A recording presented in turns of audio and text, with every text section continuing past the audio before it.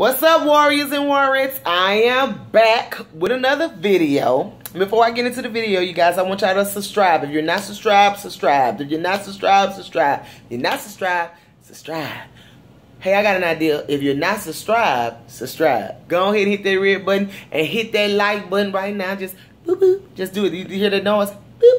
Just hit it just like that turn that that like button blue and when you hit the subscribe button it's gonna be a little bell on side of it just go ahead and smash that too so you won't miss another video become a part of the notification family and so this video i'm gonna get right into the video this video is a little bit different you guys it's about love it's about love and um I can only talk about me, you know what I'm saying? So I'm I'm, when I'm, I'm gonna give y'all some things. It's ten ways that you will know that you're in love or you're involved in love. It's ten. It's ten things you'll know. I mean, I mean, you know, so we just gonna get right into the video.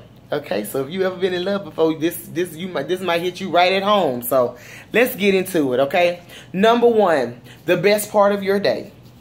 When you in love, the person that you're in love with makes your day. It's like if you having a bad day, they they lift it. They lift that day. It's like they the best part. You that special person could. If you're having a good day, they can make it better when you see them. You know what I'm saying? I had that before with my, you know, with my ex-husband when I was in love. You know, I had that before. So, you know, you get butterflies, you get so excited, you know, when you're finna see them and stuff. So, yeah. Number one, if you, you think, if you don't know if you're in love, the first one, the first step is they the best part of your day. They are the best part of your day. Number two, the first person you think about, they'll be the first person you think about when you rise, and the last person you think about when you fall asleep. And when you fall asleep, you be falling asleep thinking like, I can't wait till I get up tomorrow so I can go see that person. So is you be really anxious to just be in their company. Number three, their needs come first.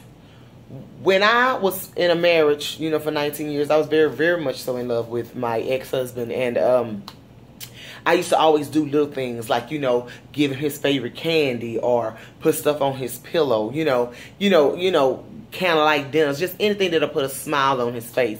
And whatever he needed, you know what I'm saying? I always thought of him first. When I got paid and I went shopping, I always was going there intending to get something for me, but when I saw something I knew he would like, I hurry up and picked it up. So their needs come first when you're in love. And you'll know if you're in love and you're doing that. If you don't know and that's what you're doing, then these are signs to let you know you are. So here we go. Number four. You'll do anything for that person. When you is in love with a person, you'll do anything to make them happy. Like I just said, they needs come first. You do whatever you can to make them happy. Number five, you uh you're never you're never afraid to express your love or show your love. You're never afraid to show your feelings, express your feelings, and show love in public places. You know, some people have these girlfriends and I mean these boyfriends and girlfriends. Some of them don't want to even kiss you in public and but why not? I mean, if you when you're in love with somebody, you don't care about that. You want everybody to know. You feel what I'm saying? Everybody need to know about this love. Number six, you love their imperfections. It's like I, I don't care. I can. I, your toe is on another toe. You know, they like this. But it's okay because it's my toe. You understand what I'm saying? I love that your toes is overlapped because you love me. It's all about the love. You know what I'm saying? So you love their imperfections no matter what. She might be loud. She might be a little bossy. He might be a little controlling. But you love it. You know what I'm saying? Because it balances y'all out. You know what I'm saying? It's just a puzzle that fits together. So number seven. You think long term. When you are in love with somebody, you don't want them to just stay at the same level. You always think about, okay, so I think I want to be married. I want to have kids, and so do that person. The man too, whether it's a woman or a girl, a boy. I mean, a woman or a male. They all think long term, and they can't picture their life in the future without that person in it.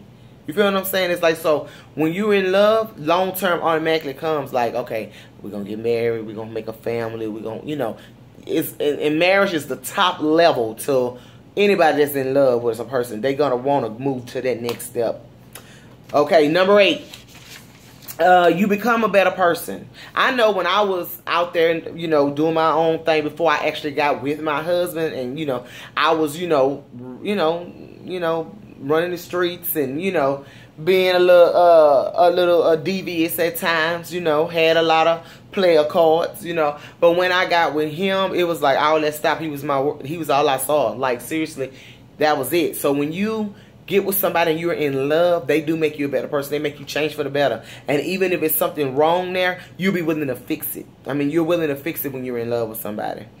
Okay, number nine, your feelings are unconditional. You could just been had an argument with them, and then somebody walk up and say something to them, and then you flip on them because guess what? That's still my babe. You feel what I'm saying? That's still my boo. I still love him. So your feelings is unconditional. They don't change. But of course, it got to be, you know, both ways. You know. But I'm saying when you're in love with somebody, I know when I'm in love with somebody, like on top of me, when I was in love with somebody, it was very unconditional. I mean, I love hard. I don't know about other folks, but I love very hard. So yeah when you're in love, your feelings are unconditional. And number 10, the very last one, the very, very last one, y'all. Number 10 say your love is, he is your, your love is your best friend. The person that you're in love with, I know that sounds cliche, but it's true. They become your partner in crime. They become your ride or die. They become, you know, your friend that you could talk to and stuff like that. And you want to spend all your time with them. They becomes that, that other part of you. You feel what I'm saying? Like, we together we can we can we can take the world you know? So if any one of these things y'all doing or all of them you in love boo. You in love. And if you are i say congratulations. And i pray that you are getting that same love in return. And i know some of my sisters and some of my warriors out there are getting and that same love. And i just bless y'all. So uh, I, this was the 10 things, the 10 ways to know that you're in love or falling in love, you guys. I hope y'all enjoyed this video. It was something a little different, but I wanted to just share with you all. So, to all my godly warriors out there, I salute you. May you continue to walk in promise and promise to go there for your life. And I will see y'all later. Bye-bye.